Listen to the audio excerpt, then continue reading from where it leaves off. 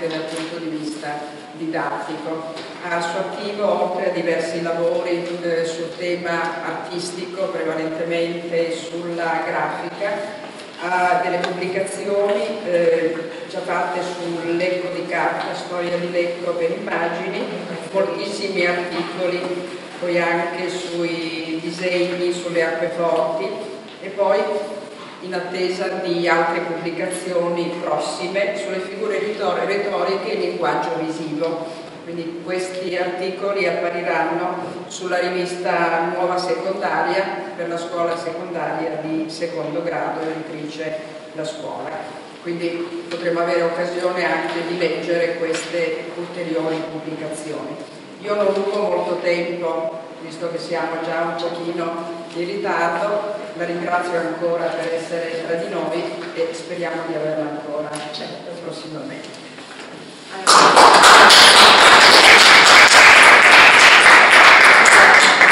Grazie, sono contenta di essere insomma, nella, nella, città di Torino, io arrivo dalla città di Lecco dove sono appunto insegnante di lettere nel classico del, del, mio paese, ma sono entrata in contatto con questa città per motivi familiari perché mia sorella è trasferita qui e quindi poi da questa cosa è nato l'incontro con il club di cultura classica e quindi sono eh, molto contenta di, eh, di, questo incontro. L'argomento di oggi è il teatro greco, un eh, luogo mitico per cui eh, in realtà noi oggi tratteremo il luogo del eh, teatro, quindi l'edificio teatrale e il contesto in cui esso si trova.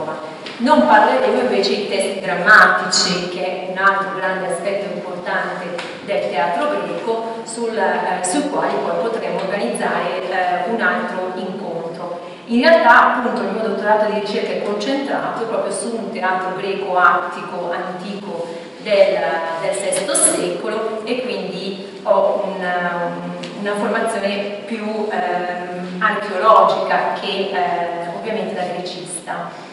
Eh, la eh, premessa da cui vorrei partire è la seguente, un'affermazione tratta da eh, Baldri, in un manuale molto famoso, tuttora in uso all'università, il Grecia Teatro, il quale dice che i poeti tragici crearono le loro opere anzitutto per il teatro, e non per la lettura, quindi per il luogo. L'occasione, l'ambiente, la rappresentazione insieme alle parole erano tutti aspetti connessi tra loro del risultato globale al quale mirava il poeta. Lo scopo della conferenza di stasera è cercare di suggerirvi questo, eh, questa globalità del, eh, del, teatro, cercando di spiegarne anche l'occasione, l'ambiente, la rappresentazione in cui avvenivano gli spettacoli eh, teatrali. Um, il Dipartimento di Archeologia di eh, Milano ha censito tutti i teatri greci eh, esistenti nel bacino del Mediterraneo per un totale di 127 eh, teatri di età compresa tra il VI, quindi età arcaica, fino all'ellenismo. Eh, questi teatri sono stati censiti e eh, sono oggetto di, di, studio. Vedete che eh, insomma, la metà sono ovviamente concentrati in eh, Grecia. Anche in Italia, nella Magna Grecia, c'è un numero di teatri sicuramente molto significativi. Questi sono concentrati in particolar modo eh, nel Peloponneso, quindi nella Grecia peloponnesiaca e eh, nella regione della, eh, dell'Attica. Un eh, numero così elevato di edifici teatrali, 127 sono tanti quelli archeologicamente documentati, poi ci sono, bisogna aggiungere quelli di cui non abbiamo ovviamente più reperti archeologici, il numero parla e già il numero ci dice che l'edificio teatrale era evidentemente un luogo molto importante. Il, eh, il contesto sacro all'interno del quale sorge l'edificio eh, teatrale è sicuramente eh, significativo. Per noi eh, uomini moderni andare a teatro non è un'esperienza religiosa e sacra, massimo può essere culturale, formativa, emozionante, ma non eh, sacrale. L'edificio invece teatrale greco sorge all'interno di un contesto sacro. Vedete nel plastico, è eh, il plastico eh, dell'Acropoli di Atene, che evidenzia come la distanza tra il teatro di, eh, di Dioniso e il Partenone sia molto ridotta in realtà, quindi eh, sorgono vicini. Nell'immagine eh, a fianco, l'immagine a fianco interessante di questo eh, archeologo americano, Weiss, il quale mette in relazione il centro dell'edificio teatrale dove si trovava l'altare, il centro lo pone all'interno di un contesto sacro significativo. Quindi in questo schema vedete come il centro del teatro, quindi il centro dell'orchestra, costituisca un centro ideale tra il, eh, tra il, il, appunto l'altare, edifici, eh, il Tempio di Dioniso, altri edifici sacri, quindi come il teatro sorgesse all'interno di un eh, contesto sacro. Questo è evidente per quanto riguarda il teatro di Dioniso. Sapete che il teatro di Dioniso sorge all'interno del recinto sacro eh, che delimita il santuario di Dioniso, il Temenos. Questo recinto delimitava un'area sacra all'interno della quale sorgevano dei templi dedicati a Dioniso e l'altare è costruito proprio all'interno di questo eh, spazio eh, sacro. Così eh, come vicino all'orchestra vi era un piccolo tempio, il tempietto di eh, Dioniso, ehm, tanto vicino eh, che in esso veniva poi portata la statua di Dioniso Eleutereo eh, in occasione delle grandi Dionisie. Veniva, la statua veniva poi posta in questo tempietto a sorvegliare quello che avveniva nel teatro di eh, Dioniso. Così eh, questo è evidente anche eh, nel santuario di Icaria, che appunto è l'oggetto della mia ricerca. Allora, questo è un uh, luogo che si trova in Attica, Icaria è un villaggio che sorge a circa 20, 23 km da Atene, quindi siamo nell'Attica, e eh, questo santuario è antichissimo, risale al VI secolo a.C., quindi è un santuario precedente anche al teatro di Dioniso. In questo santuario, come vedete, vi sono diversi eh, edifici, tutti posti eh, a distanze molto ravvicinate.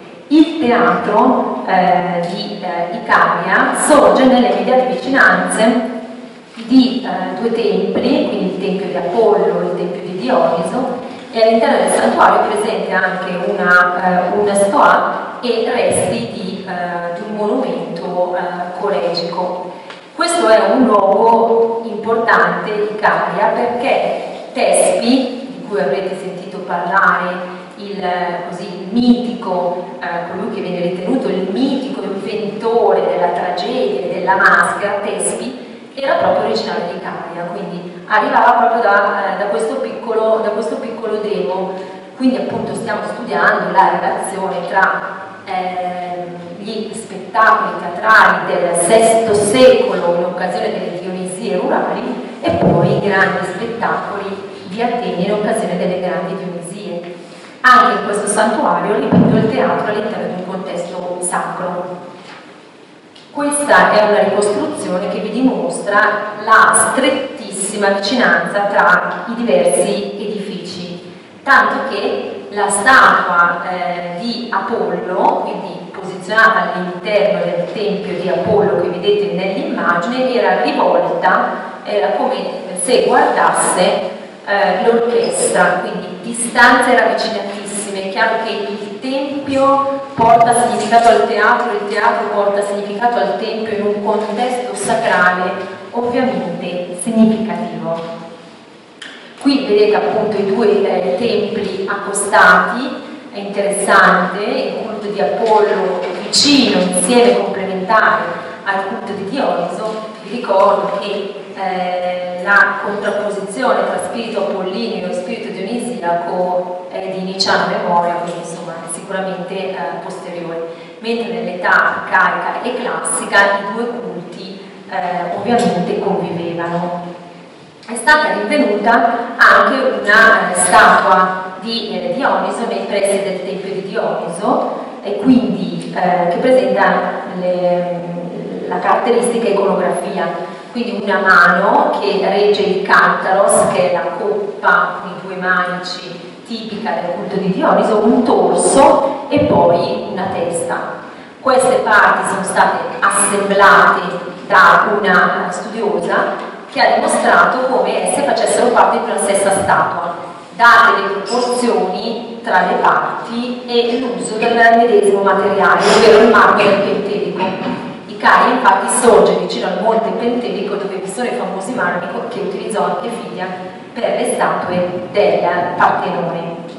Così come la relazione tra il teatro e un santuario è evidente anche nel caso di Oropo, siamo sempre in Attica, questa è una fase seguente, terzo, secondo secolo a.C., un teatro eh, quindi di età successiva, anche in questo caso vedete il teatro è all'interno di un contesto eh, sacro, quindi di un uh, santuario che include anche un tempio, un altare, una stoa e una fonte, vedete la scritta spring, una fonte da cui sgorgava acqua con eh, virtù terapeutiche. Eh, non mi eh, dilungo, questi sono dati che abbiamo eh, raccolto, a testimonianza quindi del fatto che nei teatri attici che sono stati poi oggetto del, del, nostro studio, nei teatri, gli otto teatri attici, vicino al teatro eh, sorgesse un tempio, quindi vi era un eh, tempio, nella maggioranza dei casi un tempio dedicato a Dioniso. Eh, sono stati rinvenuti i resti di altari vicino ai eh, teatri dove evidentemente si facevano i sacrifici a Dioniso prima dell'allestimento eh, teatrale, così come questi eh, teatri erano dedicati proprio a Dioniso e questo è comprovato da epigrafi rinvenute in, uh, in loco. Um, altro ambito che eh, abbiamo deciso eh, di studiare è il contesto celeste dell'edificio teatrale, ovvero ci siamo chiesti se eh, l'edificio teatrale avesse un legame anche con la volta, eh, con la volta celeste. Eh, questo eh, perché? Innanzitutto perché il teatro è appunto, sembra banale ma non lo è, eh, è un edificio ovviamente aperto, non che i greci non sapessero costruire edifici coperti, eh, ovviamente i templi in primis, ma pensiamo anche all'Odeon. È un, uh, un edificio destinato all'ascolto, Odeon, eppure presenta una copertura. Quindi eh, abbiamo deciso di interrogarci anche sulla, eh, sulla volta celeste. È stato possibile ricostruire le volte celesti dell'epoca eh, dell'edificazione dei teatri, è stato possibile ricostruire virtualmente ricorrendo eh, al consulto, all'aiuto, all'ausilio, alla competenza di un archeoastronomo, perché è chiaro che qui le competenze si eh, si mescolano, si devono anche confrontare. Fortunatamente a Milano, a Brera, è presente un osservatorio astronomico che ospita l'Istituto Nazionale di Astrofisica, l'INAF, dove lavora un astronomo, un archeoastronomo che ci ha aiutato in questo. Insomma, eh, grazie alle sue eh, competenze, all'utilizzo di un sistema, di un software molto avanzato, è stato possibile ricostruire le volte celesti eh, dell'epoca. Eh, così questa è la volta celeste visibile nel teatro di Caria nell'anno 1950, anno di ipotesi dell'edificazione del teatro, il 27 dicembre. Eh, abbiamo scoperto cose interessanti perché eh, erano chiaramente visibili delle costellazioni, ecco, tra cui la costellazione di eh, Bote, legate ad un mito relativo proprio al sito di Icaria. Allora, eh, il mito racconta che ad Icaria Dioniso fu ospitato da un contadino del luogo, Icario, che eh, lo ospitò finché non lo riconoscesse e in cambio Dioniso lo ricompensò eh, insegnandogli la coltivazione della vite. Come eh, ricompensa Icario poi fu trasformato in una costellazione, nella costellazione di Boote. Cioè il mito relativo ad Icario, il mito indigeno, presenta un catasterismo. Il catasterismo è la trasformazione, credo li abbiate magari trovati molti autori, è la trasformazione di un personaggio mitico in una costellazione a celebrazione, una, una sorta di ricompensa. E così Icario di Icaria, che aveva ospitato Dioniso, era stato poi trasformato nella costellazione di Bote. Da lì ci è venuta l'idea, no? Incuriosite, abbiamo detto ma vediamo se poi effettivamente la costellazione di Bote era visibile all'epoca di, eh, di edificazione del teatro ed era effettivamente pienamente visibile. Dobbiamo anche pensare che i greci eh, del, VI secolo, ma anche delle epoche successive, erano eh, grandi conoscitori dell'astronomia ed erano in grado di riconoscere le, eh, le costellazioni che erano importanti ovviamente perché eh, legate anche alla coltivazione, legate alla, alla navigazione. Questo è un nuovissimo, mi piaceva condividerlo con voi, un nuovissimo ambito di ricerca che si sta proprio aprendo eh, in, questo, in questo momento ed era visibile anche la costellazione della Vergine, ovvero la figlia di Icario e Rigone, venne trasformata nella costellazione della Vergine. Quindi i personaggi del mito eh, vennero trasformati in costellazioni e queste costellazioni sono eh, visibili, erano, scusate, erano chiaramente visibili nel 550 a.C. Così il nostro studio, orientato proprio a cogliere il contesto in cui sorge l'edificio eh, teatrale, ha incluso questo nuovo aspetto eh, astronomico. Il cane, perché rappresenta anche un cane. Questo, questa immagine non è assolutamente mia, ma elaborata appunto dal dottor Gaspari dell'Istituto dell'Astrofisica di Brera di Milano, è sua questa, questa immagine. Quindi eh, un'immagine che mostra il legame tra il teatro di Icaria, le costellazioni, quindi presenti nel, nel mito, e il suo orientamento. Quindi la sua ubicazione e il suo orientamento possono anche, non solo, anche avere, oltre che motivazioni cultuali, anche motivazioni eh, astronomiche. Il tentativo è, come detto nella premessa, di ricostruire questa mh, esperienza globale dell'edificio teatrale. Anche il contesto in cui avvengono gli, eh, gli spettacoli, sapete che è un contesto sacro, eh, gli spettacoli teatrali infatti vengono allestiti all'interno eh, di celebrazioni religiose dedicate a, eh, a Dioniso, ad Atene si chiamano grandi Dionisie o Dionisie urbane, eh, nei temi dell'Attica si chiamano piccole Dionisie o Dionisie rurali. Sono feste religiose a cui partecipa l'intera cittadinanza, all'interno di queste feste avvengono anche delle rappresentazioni eh, teatrali. Nel caso di Atene queste avvengono tra marzo e aprile, durano 5 giorni, quindi tanti 5 giorni, vi partecipano i cittadini ateniesi ma anche gli abitanti dell'Attica che si recano in loco e anche gli, uh, gli stranieri.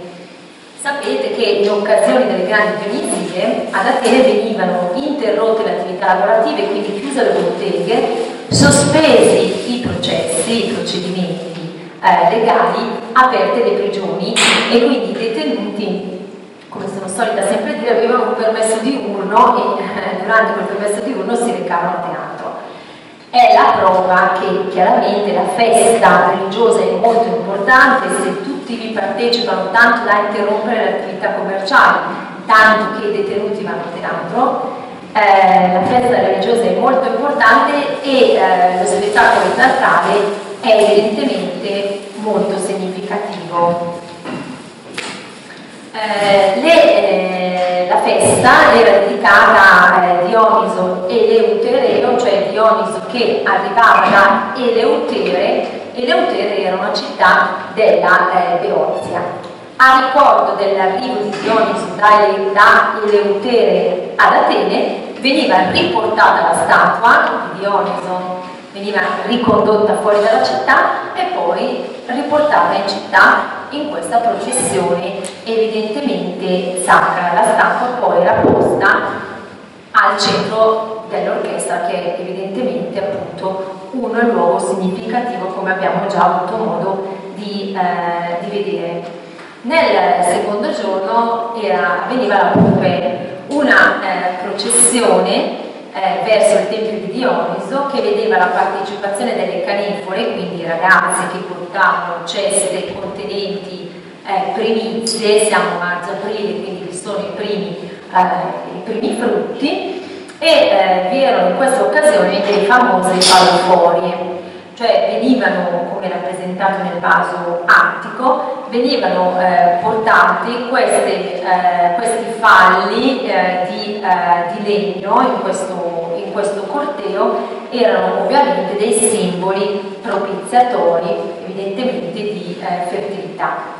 Il secondo giorno terminava con il sacrificio di, una, di un toro che veniva eh, sgozzato. Il sacrificio avveniva sull'altare posto al centro eh, dell'orchestra. In alcuni teatri si sono conservate tracce archeologiche eh, degli altari, in altri sono andate perse. Qui vedete nel teatro di Telo è una ricostruzione che vi mostra come al centro vi fosse eh, l'altare su cui avveniva il sacrificio, tanto che poi il coro si disponeva intorno, ovviamente, intorno all'altare.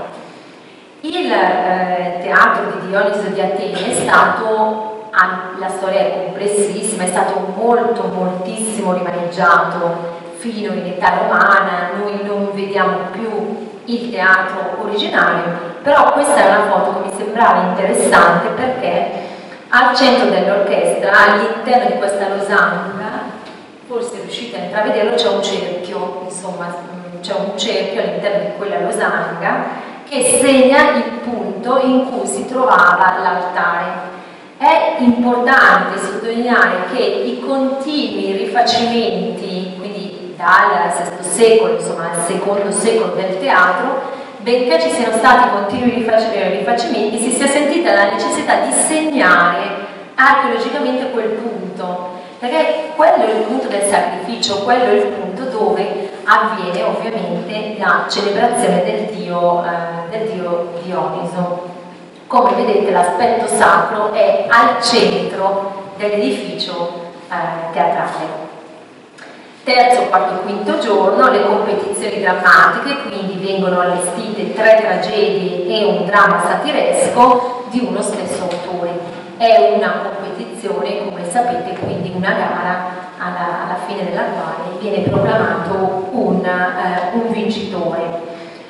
Sesto giorno, cinque commedie di cinque poeti eh, diversi. Quindi i eh, cittadini ateniesi assistono agli spettacoli teatrali per un totale di quattro giorni, perché il quinto giorno invece è quello insomma, della, festa, eh, della festa religiosa.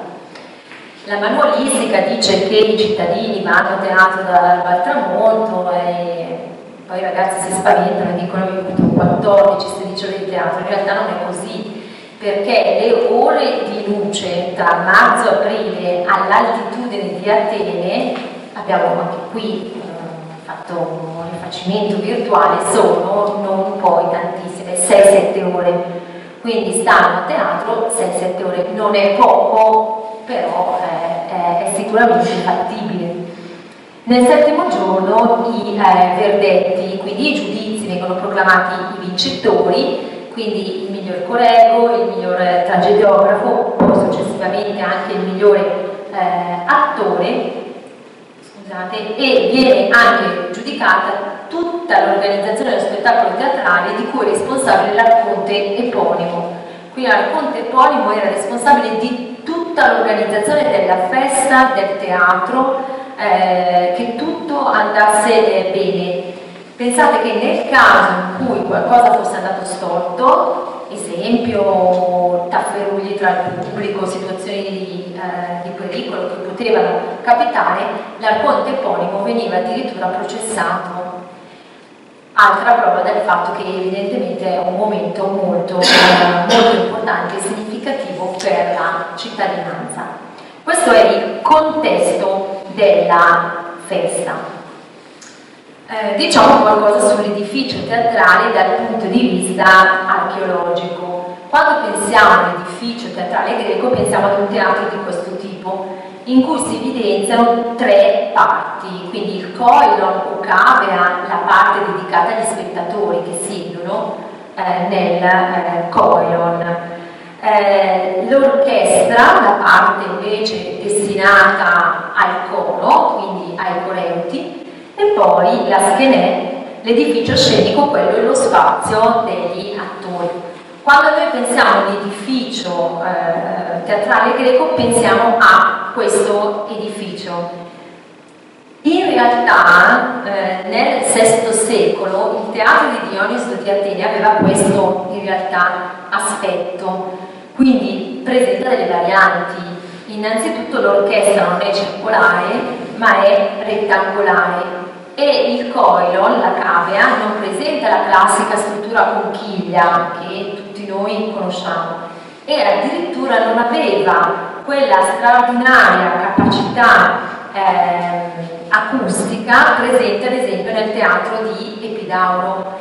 Quindi queste caratteristiche sono di teatri mm, successivi. È bene quindi sottolinearlo che dal punto di vista dei testi drammaturgici, noi leggiamo i testi dei grandi eh, autori di età eh, ovviamente classica. Dal punto di vista invece archeologico, i grandi teatri dell'età più arcaica sono andati eh, perduti. Qui vedete un altro teatro arcaico, attico, toricos, anche questo VI secolo, anche questo vedete che presenta un'orchestra eh, un rettangolare ma concentriamoci sul teatro che noi conosciamo, ad esempio il teatro di Siracusa. Vedete, il teatro di Siracusa, la Grecia, Italia meridionale, eh, in realtà è del IV secolo. Eh, e questa è un po' eh, la struttura architettonica che siamo abituati a eh, conoscere. L'edificio teatrale presenta un'architettura funzionale cioè deve contenere in modo ordinato tutta la cittadinanza, il coro, gli attori, quindi è un'architettura funzionale, noi eh, diremmo, che presenta le due entrate, dalle entrate accedeva il pubblico che poi si disponeva nelle, eh, nelle gradinate, ma anche i corelti e anche gli eh, attori. Il pubblico poi sedeva eh, nella cavea, non dovete pensare che entravano e poi liberamente sedevano dove, eh, dove eh, volevano. Infatti la cavea presenta a sua volta un'articolazione interessante, esempio, è divisa in due anelli, siamo soliti noi chiamarli, no? un anello superiore ed uno inferiore è ipotizzabile che ci fosse quindi una eh, distribuzione del pubblico gerarchica nel teatro, di, eh, nel teatro, greco. I due anelli sono divisi dal diazoma che in greco significa cintura, quindi da, una, da un anello, da una, eh, da una cintura. Così come, ecco, qui eh, vedete eh, diazoma del teatro di Epidauro, credo sia abbastanza chiaro, eccolo qui, quindi questo corridoio ampio che separa il teatro in due anelli. Eh, sono eh, presenti anche delle, eh, delle, scale, delle scalette eh, che dividono la cavea in, in settori, poiché i gradoni, sedute sono molto alte, sapete che a distanze regolari ci sono invece scalini più bassi e quando si va a teatro appunto si salgono quegli, eh, quegli scalini. Le scale poi dividono tutta la, eh, la cavea, il colon, in settori icherchides. Qui direi che è evidente in questa fotografia, questa è una fotografia in cui è evidente la divisione proprio della cavea nei diversi eh, settori. Allora, l'ipotesi più recente è che eh, i settori corrispondessero alle tribù, quindi vige la Costituzione di Clistene, quindi che aveva diviso la popolazione eh, ateniese in eh, dieci eh, tribù e il teatro di Epidauro presenta 12 eh, settori, quindi probabilmente 10 destinati alle diverse tribù, 2 agli stranieri in visita. Quindi questa è, eh, è un'ipotesi direi piuttosto interessante. Riguardo al, al, pubblico, i numeri sono sempre molto pericolosi, però eh, giusto per eh, riferirvi. Allora, si è calcolato che il teatro di Dioniso ospitasse 17.000 persone. Come è possibile calcolarlo? È calcolato che una persona a teatro occupa circa 40 cm a testa e le fonti eh, letterarie spesso riferiscono che il teatro era pieno. Quindi nel caso in cui il teatro di Dioniso fosse stato pieno eh, sono 17.000 persone. 17.000 persone eh, lo dico sempre ai miei studenti, è il forum di Assago di Tiziano Ferro, tanto per dare il numero, cioè il forum di Assago di Milano ad un concerto piuttosto affollato, quindi tante tante eh, persone di eh, diverso tipo, quindi cittadini, metteci, visitatori stranieri, schiavi e detenuti. Riguardo alla presenza delle donne questa mm, non è eh, sicura, eh, perché Platone nelle leggi riferisce che la tragedia parla pubblicamente a fanciulli, donne e a tutto il popolo, quindi sembra che questa presenza delle donne sia eh, suffragata da eh, Platone. In realtà poi in alcuni testi, eh, in alcuni testi drammatici, quando alla fine, soprattutto nelle commedie, quando alla fine un personaggio invita ad applaudire, sto pensando al Tusculos di eh, Menandro, ad esempio invita giovani, uomini e fanciulli ad applaudire, non vengono mai nominate le donne eh, dai personaggi e quindi il dubbio rimane sulla presenza delle donne a teatro. Nel caso in cui avessero partecipato sicuramente accompagnate insieme al, eh, al marito. Eh, l'ingresso a teatro aveva una, un costo di eh, due oboli, quindi vi era un, un, un biglietto, un costo, questo per sostenere tutte le spese di un allestimento veramente eh, significativo, ma per volontà di Pericle venne poi introdotto il Teoricon, cioè un sostegno statale per le persone meno abbienti, quindi che potevano chiedere sussidio insomma, eh, statale per andare a teatro. Altra dimostrazione, uno Stato che esborsa dei soldi perché il pubblico, eh, perché la cittadinanza vada a teatro per noi impensabile. Evidentemente era eh, molto, eh, molto, significativo. Sono stati rinvenuti molti esempi di eh, teorica, eh, co erano come delle monete che poi venivano rifuse.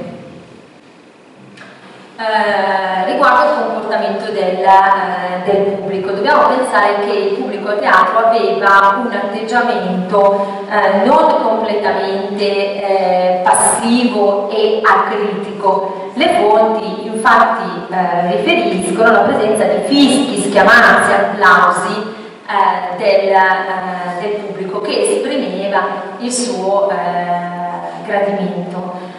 questo ci dice Platone Teofrasto invece nei caratteri morali identifica delle tipologie presenti a teatro, tra cui il villano che fischia il plane a sproposito e il fesso che si addormenta. Quindi eh, un pubblico insomma eh, variegato, sicuramente però un pubblico abituato all'ascolto. Eh, I greci fruiscono del sapere tramite l'oralità, ovviamente l'epica, il dialogo filosofico, la retorica, quindi sicuramente un pubblico anche abituato eh, all'ascolto ma non, eh, non acritico. Tornando eh, nell'edificio teatrale eh, vediamo una fila fila di eh, posti d'onore, la cosiddetta proedria, il primo posto, il diritto di occupare il primo posto, la proedria, sia a teatro che in realtà anche ad esempio all'interno uh, dell'Ecclesia. Erano posti riservati per le autorità religiose, in primis il sacerdote di Dioniso, che eh, sedeva nella postazione centrale, e le alte magistrature. Ehm, tuttora nei teatri ci sono i posti riservati, le prime file riservate alle autorità, i parchetti d'onore, quindi eh, era una consuetudine che ci fossero questi posti eh, riservati. Questa, questi sono sedili della proedria eh, del teatro di Dioniso di Atene, ripeto, ampiamente rimaneggiati, quindi questi non sono quelli ovviamente originari. Eh, questo è il, il, sedile del sacerdote di Dioniso che si distingue dagli altri perché ha le gambe, ha le, le gambe insomma, del sedile come se fossero zampe e vi sono spesso delle incisioni con motivi dionisiaci, quindi ci possono essere delle menadi o dei tracce di vite, insomma, che suggeriscono che quello era proprio il posto riservato al sacerdote di Dioniso. Questa è la proedria eh, del teatro di eh, Icaria, quindi appunto il teatro d'origine, insomma, presunta della, eh, della tragedia e quindi vedete quindi una proedria, questa è originaria una proibria del, VI secolo. La divisione in settori e la presenza di una proedria dimostra che appunto a teatro sono mantenute le gerarchie della eh, società eh, greca. Quindi sì, una Costituzione, quella di Clissere eh, democratica, che però non annulla ovviamente le grandi eh, differenze tra aristoteti, è ovvio, no? quindi tra le famiglie ricche eh, e quelle invece dei eh, nulla, eh, nulla tenenti.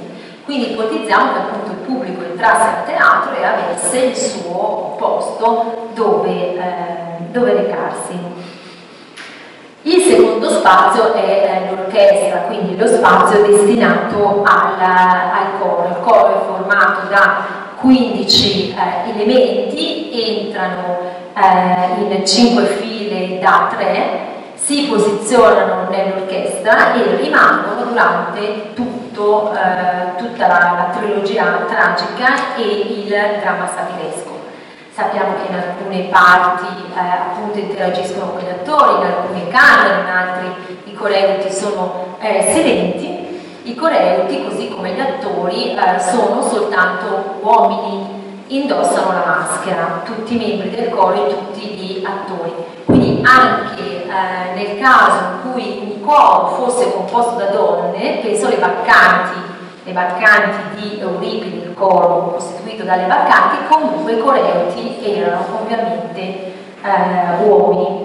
Entravano nell'orchestra preceduti dall'auretes, quindi dal suonatore di aulos, l'aureta, che è l'unico che non indossa la maschera, l'unico personaggio, perché? Per motivazioni pratiche, ovviamente per suonare l'aulos, quindi è, ehm, è l'unico. Eh, l'aulos, mm, tradotto un po' insomma così impropriamente come eh, flauto, in realtà appartiene più alla famiglia della, eh, dell'oboe e quindi eh, davanti alle teste poi seguivano i, eh, i coreuti che si posizionavano nel, nell'orchestra. Qui eseguivano anche delle danze di diverso eh, tipo. Nel caso in cui lo spettacolo rappresentato fosse una tragedia, ballavano l'emmeleia, Emmelia, eh, la danza eh, tragica, tra l'altro che significa anche armonia, quindi una danza coordinata tra i diversi membri del coro una danza solenne. Nel caso invece in cui eh, lo spettacolo allestito fosse una commedia, eh, i coreuti danzavano il cordace, una danza invece più scomposta, più eh, libera, quindi eh, non, non coordinata, una danza comica. Questo lo sappiamo dalle pitture ovviamente vascolari. Ecco i eh, nostri correnti, eh, una peliche, un vaso importante perché ci fornisce eh, informazioni interessanti. Quindi alla vostra sinistra vedete un coreuta che già ha indossato la maschera, alla vostra destra il coreuta non l'ha ancora indossata e la maschera giace a terra. Vedete che le due maschere sono uguali, quella indossata e quella a terra. Quelle sono maschere tra l'altro femminili, Sotto invece c'è un corretta che evidentemente è un uomo, questo lo vediamo nel personaggio alla nostra destra, è intento a indossare anche una, eh, una calzatura.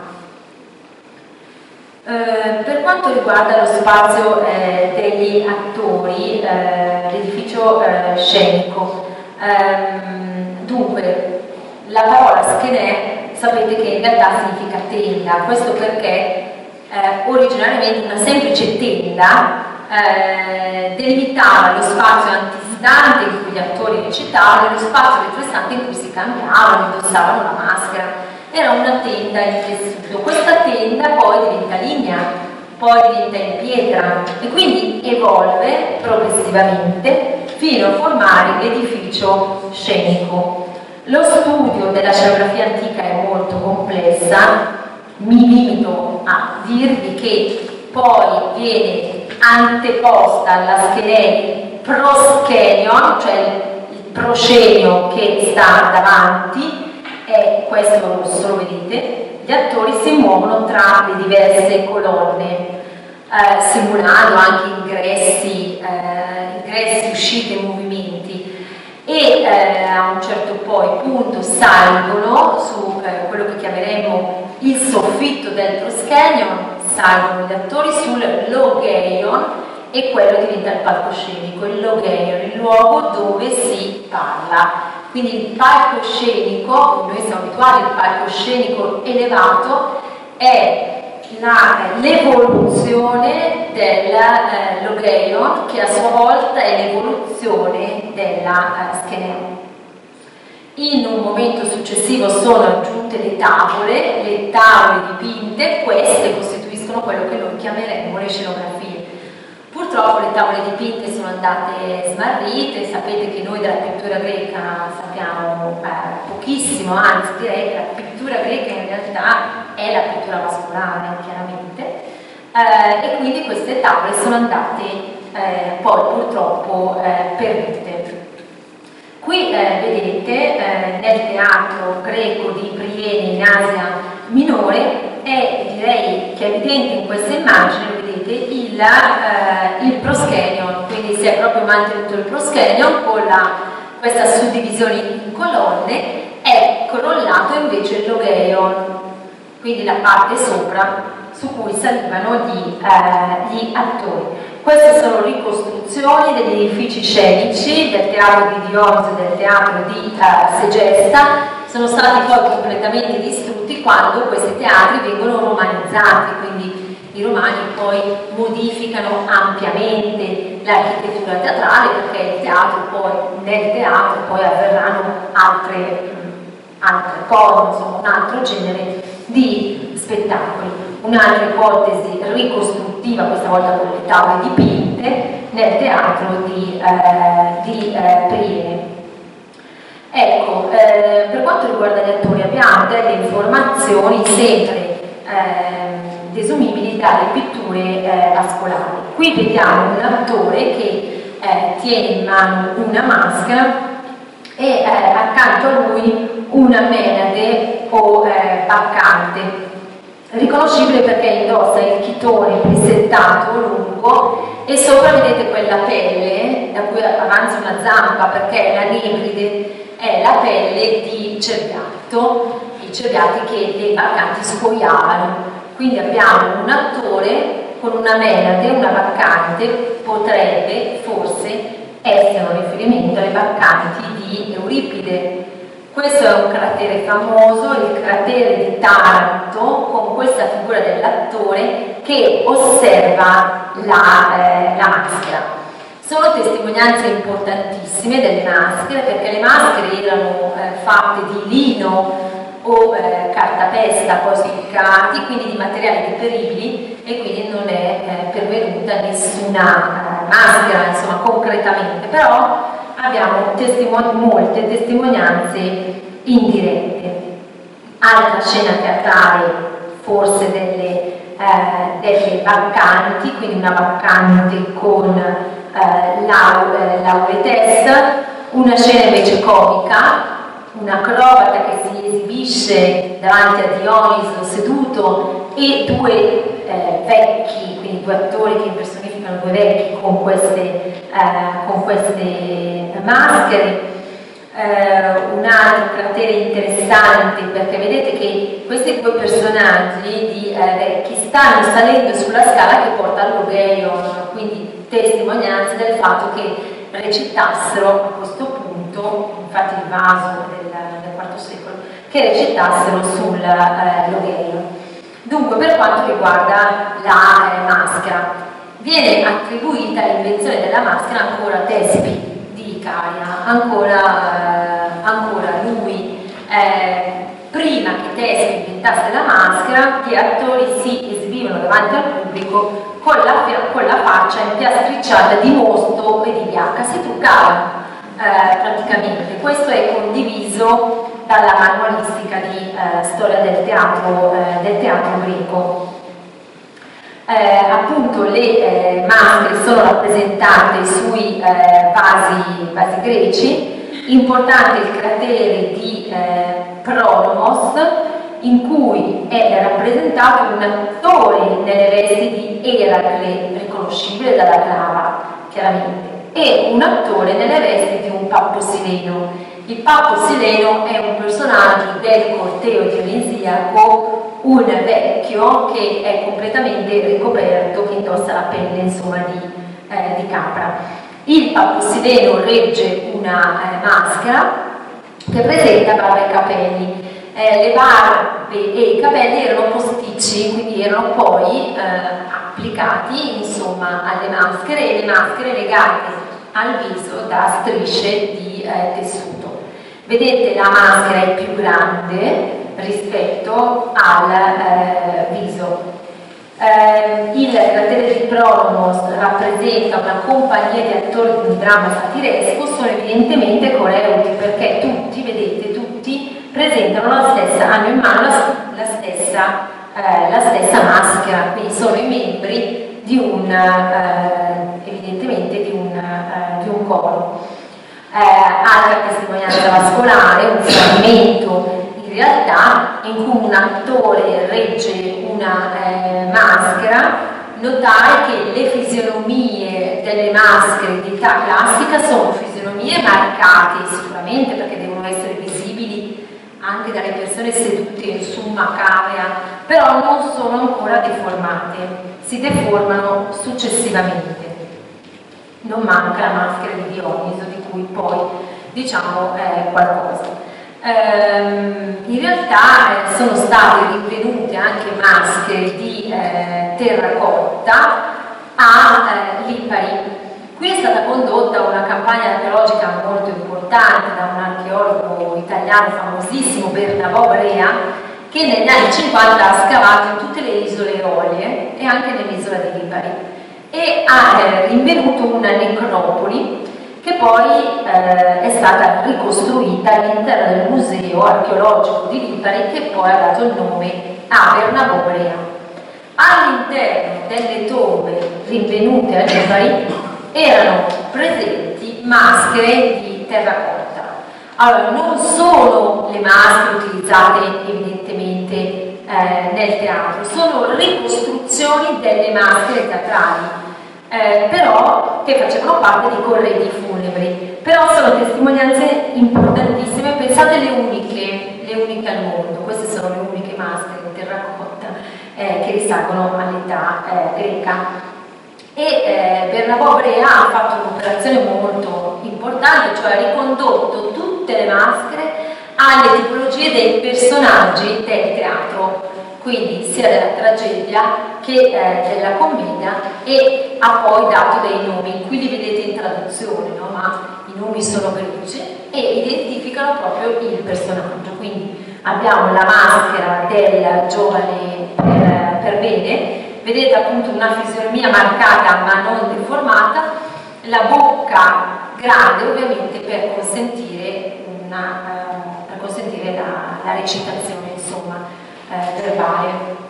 La maschera del servo principale, un personaggio importantissimo nella commedia e poi lo sarà tanto più nella commedia uh, latina, Ecco, qui è chiaro come si deformano, vedete, questa è la maschera greca, già grottesca, il personaggio è comico, guardate in età poi ellenistica, no? proprio si caricano, vengono accentuate.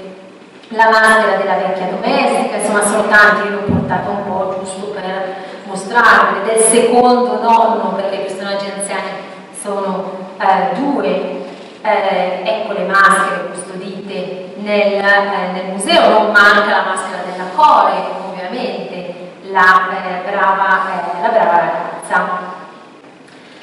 Altre maschere sempre eh, invece più eh, deformate, questa è la figura dello straniero, ad esempio. E poi vi sono le maschere romane ovvero eh, sono state rinvenute nelle ville romane delle maschere che venivano semplicemente appese alle pareti come elemento ornamentale. Sono testimonianze preziose anche del teatro greco con il quale evidentemente condividevano una certa iconografia. Così, ad esempio, queste sono custodite nel British Museum in una foto pessima fatta da me una vetrinetta Allora, questa è la maschera, vedete, è insomma la versione romana della maschera della core, direi che questo mi sembra abbastanza evidente, quindi diventavano semplicemente oggetti di, eh, di arredo, oppure mascheroni enormi rinvenuti nel teatro di Atene, risalenti in realtà all'epoca romana. Non mancano maschere sui sarcofagi, eh, sui sarcofagi di età eh, romana, eh, qui abbiamo Italia, la musa del teatro, che regge la maschera del servo furbo, direi, no? ricorda molto la maschera del, del servo. Eh, le maschere sono rappresentate anche nei mosaici romani, questo è un mosaico, insomma direi forse il più eh, famoso, ehm, nei musei capitolini di eh, Roma, questa è diventata un po' l'iconografia classica, cioè la ragazza, la core, è la raffigurazione della tragedia. Eh, dall'altro lato invece il, il servo, eh, tra l'altro un po' dionisiaco, ovvero perché c'è il traccio di vite, eh, grappoli, tuva, rappresenta la commedia. Questi sono diventati un po' i due simboli dei due generi, eh, generi tragici. Eh, e questa invece è la deformazione, vedete? eh, sono, i caratteri delle maschere sono deformati nei mosaici delle ville, eh, delle ville romane. Eh, tornano gli stessi personaggi, guardate la Core a sinistra, lo straniero di Carnagione Scura, il personaggio dello Xenos e poi ancora il, il furbo. Eh, Brescia, a Brescia sono state recuperate queste ville e è stato recentemente insomma, reinaugurato il museo archeologico e in queste ville, nei pavimenti, sono raffigurate delle maschere, semplicemente con valore ornamentale. Negli affreschi romani vi sono riferimenti al teatro, in questo famoso affresco proveniente da Pompei, è presente un attore, raffigurato un attore in un momento evidentemente di raccoglimento, in un fuoriscena, al quale eh, viene eh, portata la maschera, tra l'altro, di un personaggio eh, femminile. Oppure ancora la maschera un po' eh, dionisiaca, ne ho portate molte, vado un po' eh, veloce oppure la maschera posizionata addirittura sul logeion, quindi la maschera sul palcoscenico. Maschere presenti anche nella casa di Augusto, sono maschere un po' inquietanti, si affacciano degli strani personaggi da queste finestre con queste maschere un po' inquietanti. Eccola la maschera tragica, femminile, completamente deformata, lontana dalla maschera tragica eh, greca, queste invece maschere eh, dipinte come se fossero appunto eh, appesi. Riguardo ai costumi sappiamo poco, pochissimo, quindi il chitone corto nel caso in cui il personaggio fosse maschile ed un eroe, eh, il chitone lungo serviva anche per mascherare braccia maschili muscolose e ovviamente gambe maschili nel caso in cui recitassero un ruolo femminile il chitone plissettato, il chitone con la nevride appunto tipico della, eh, della baccante e infine la clamide. Abbiamo poche testimonianze anche sui vasi, torna ancora il cratere di Pronomos, quello che prima abbiamo visto con le maschere. Eh, qui è presente evidentemente un attore che indossa un lungo chitone decorato, quindi eh, probabilmente i costumi erano eh, decorati, colorati, anche il costume insieme alla maschera consentiva il riconoscimento del personaggio anche a grande, eh, grande distanza.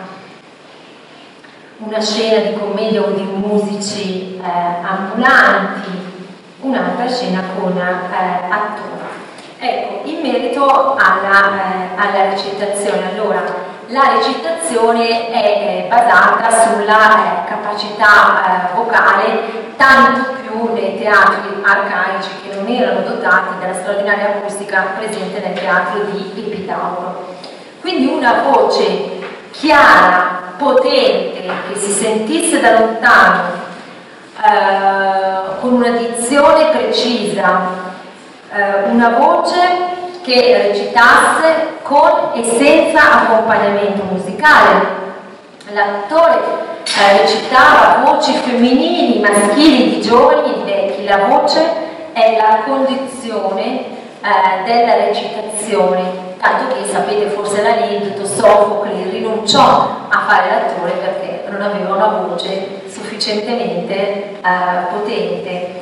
Eh, quindi la capacità eh, vocale è un invece eh, pregiudizio pensare che la recitazione nel teatro greco fosse completamente ierarchica, no? ferma, bloccata, in realtà non è così.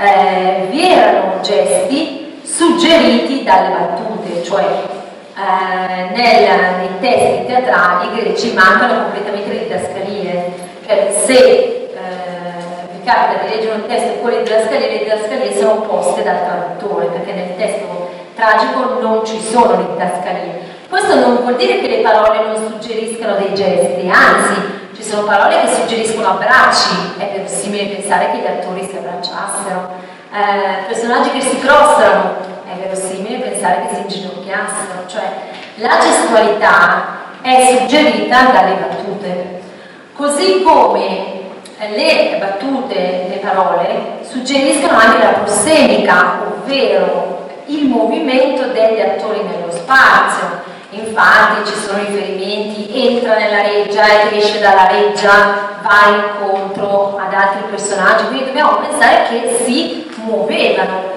all'interno di questo spazio. Detto questo, sicuramente non è la recitazione a cui siamo abituati noi, perché la maschera è un grande impedimento. Io ho avuto modo di assistere a Milano in un rifacimento di eh, Duscolos di Minantro ad una messa in scena con la maschera. È eh, abbastanza non dico fastidioso per un termine brutto, però eh, cioè, eh, la maschera incide sulla gestualità, sul, sullo sguardo, su tutti i eh, movimenti che sono lontanissimi dal nostro gusto, dal nostro gusto. Così anche Aristotele nella retorica riserva parole di ammirazione per la straordinaria naturalezza della recitazione di Teodoro, un attore quindi se Aristotele elogia la naturalezza di Teodoro, evidentemente la naturalezza era eh, apprezzata. Adesso fioriscono questi studi alla ricerca della gestualità e della prossemica presente nei testi, eh, eh, drammaturgici. E veniamo a Dioniso che è un po' rimasto sullo, sullo sfondo eh, il dio eh, del, eh, del, teatro, un dio molto, eh, molto complesso. a te che sei tutto e di tutto l'estremo contrario, non è facile levare il canto per i molti tuoi doni e gli insondabili abissi tra cui ti nascondi.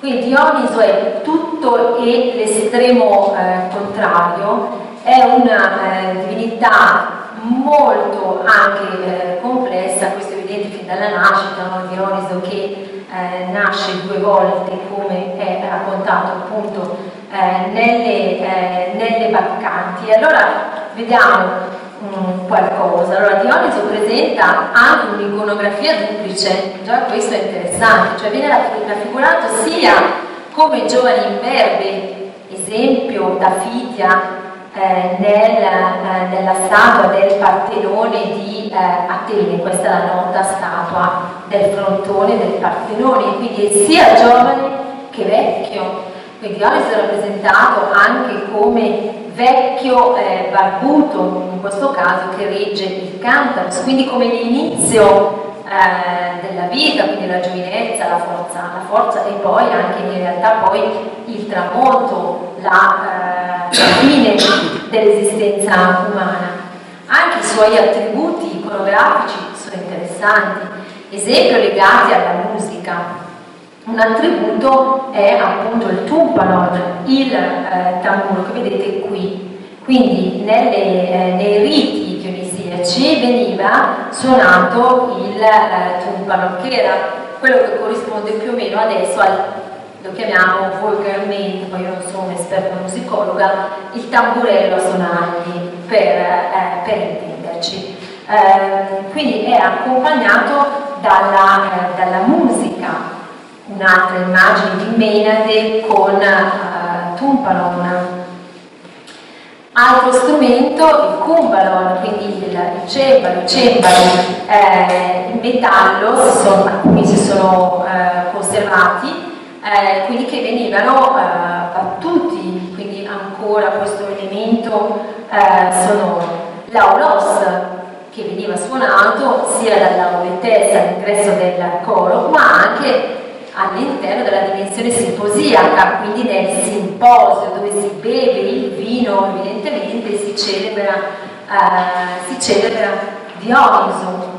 Poi abbiamo il Tirso. Il Tirso è questo lungo bastone, che vedete in questo caso retto da una menade, in cima veniva posta una eh, pigna eh, sulla quale venivano legati sonagli e poi il tirso veniva quindi agitato in occasione dei riti eh, dionisiaci, quindi anche il tirso è una sorta di, eh, strumento, eh, strumento musicale.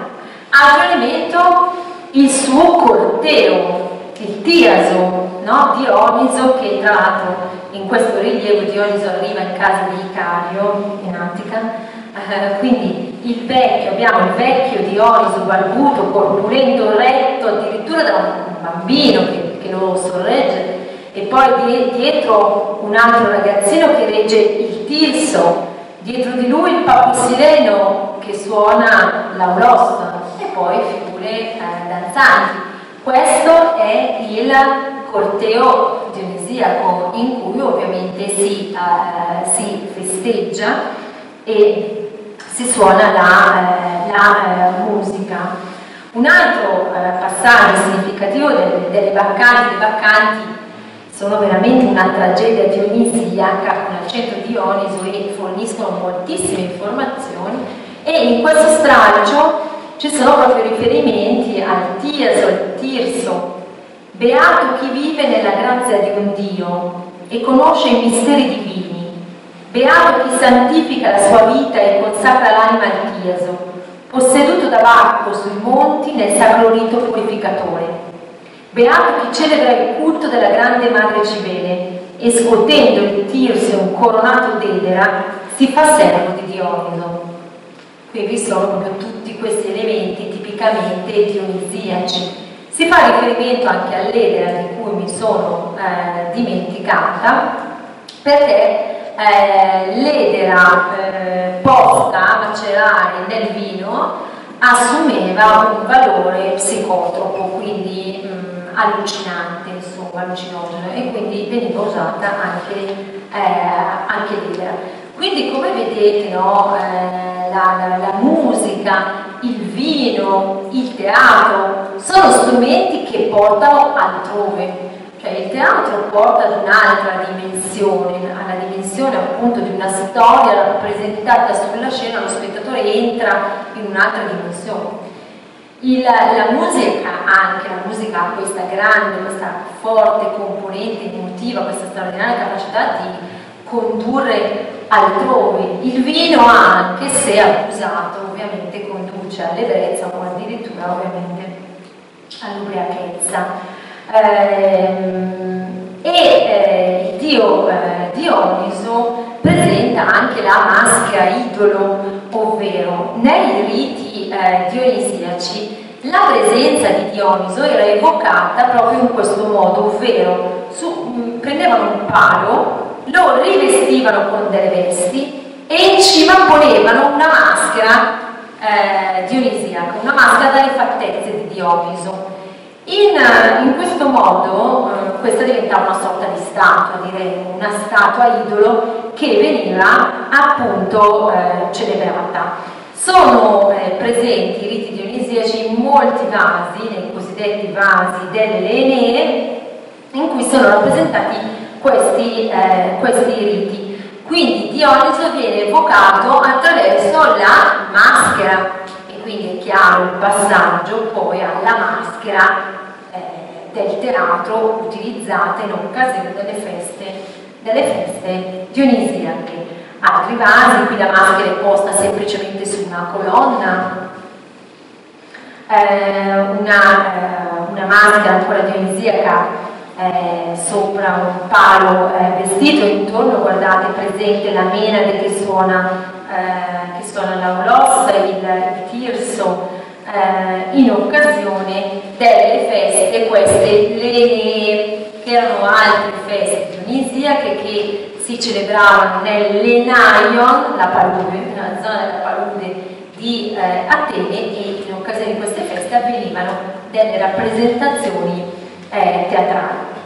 Poi sito, nel sito di Icari è stata rinvenuta questa questa, questa, testa che avete già visto nella statua che vi ho mostrato eh, precedentemente e eh, lo studioso Chereni, che è autore di un testo insomma, chiamato Dioniso fondamentale, ha ipotizzato che questa testa fosse in realtà la versione pietrificata di una maschera eh, linea eh, dionisiaca. Eh, Chereni sostiene questo eh, in base alla fisionomia di questa maschera, ad esempio che presenta questi occhi come se fossero insomma eh, delle fessure. È soltanto un'ipotesi, però sicuramente molto, molto suggestiva. E così eh, l'inno omerico svela un po' la complessità di questa divinità. Tu della vita ci conduce ai confini dove la nera soglia delle tue grandi pupille ci invita col riso dolente ad inoltrarci in oscuri sentieri che non hanno ritorno se la dolce promessa del tuo eterno rinascere non ci appaga più amica. Questa divinità presenta caratteri legati alla morte e legati anche alla, eh, alla nascita eh, aspetti legati alla celebrazione della vita, della gioia, il corteo, il tiaso, la musica e i caratteri inquietanti anche, perché la maschera, la maschera è un oggetto veramente inquietante, perché la maschera vela, vela un'identità e poi la maschera quando, quando si, si, toglie no, la maschera e si appoggia diventa veramente un, un vuoto contenitore che evoca una finzione, cioè le maschere sono veramente molto, uh, molto inquietanti, sono oggetti uh, misteriosi e quindi Dioniso è effettivamente il dio del, uh, del teatro. E questa è un po' la conclusione, ovvero torniamo alla premessa ancora con Valdri testo fondamentale, semplice, inteso come elemento positivo. E Baldri dice, l'esperienza globale del teatro greco che cerchiamo di recuperare fu un'esperienza unica, eppure noi dobbiamo inevitabilmente trattarla analiticamente, una parte distinta dall'altra, osservandone una faccia dopo l'altra. L'unico punto essenziale è che tutti gli elementi erano strettamente connessi tra di loro e devono essere giudicati nel loro reciproco rapporto, insomma, l'analisi deve essere solo il preludio alla sintesi. Una ricerca che abbia come oggetto il teatro greco come quella che sto insomma, tentando di eh, fare, è una ricerca inevitabilmente multidisciplinare perché coinvolge l'archeologia dell'edificio teatrale, il mito no? dionisiaco e non solo, la storia dell'arte, l'epigrafia, il testo eh, drammatico, addirittura l'archeoastronomia. Cioè sono aspetti per cui sì, eh, vengono coinvolte diverse competenze, è impossibile che una sola persona ne abbia, infatti è fortunatamente di questo sono molto contenta, è un lavoro di equip in cui queste eh, competenze entrano in, in, contatto e danno valore ai risultati, no? rafforzano i risultati uno dell'altro e allora il tentativo è proprio quello di ricostruire questa esperienza globale che sicuramente fu unica, un'esperienza unica, io direi addirittura nella storia dell'umanità, un'esperienza sicuramente eh, unica. E eh, concludo insomma in questo modo, sperando di avervi semplicemente suggerito così un'idea di, eh, di eh, complessità. Vi eh, ringrazio, spero di essere stata sufficientemente chiara. Molto, grazie.